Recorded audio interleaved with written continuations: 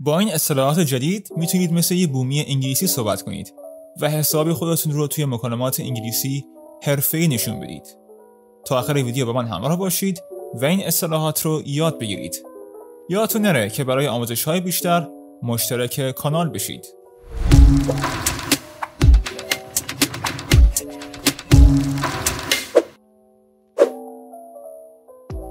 سنش تو 20 سالگیه ولی مثل یه نوجوان رفتار می‌کنه.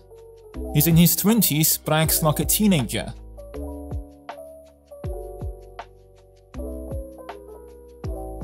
دیگه جوون نیست از دوران اوجش گذشته ولی هنوز سرشار از زندگیه She's over the hill now but is still full of life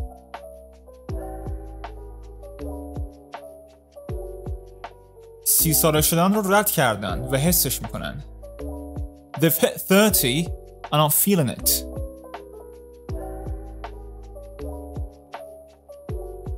با اینکه نزدیک 40 ساله شدنشه ولی هنوز مثل یه نوجوان لباس میپوشه. He's pushing 40 but still dresses like a teenager.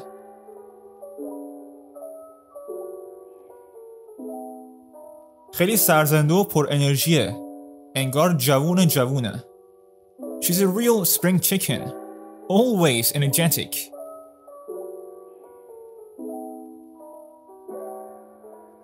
الان تو بهترین دوران زندگیشون هستن و ازش لذت می‌برن.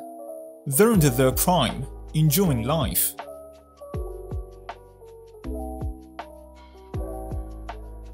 جوون پرشور و بی تجربه ای هست. هنوز دهنش بوی شیر میده. He's a young whippersnapper, full of energy.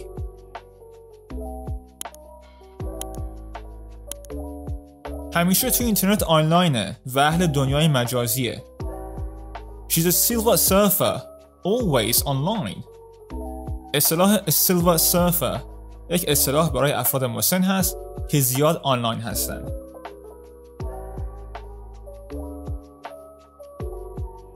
بحران میانسالی رو دارن تجربه می‌کنن.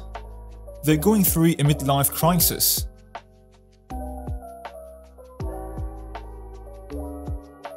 کمی سنش بالا رفته ولی هنوزم شیکه. شیک پوشه. She's a bit long in the teeth but is still stylish.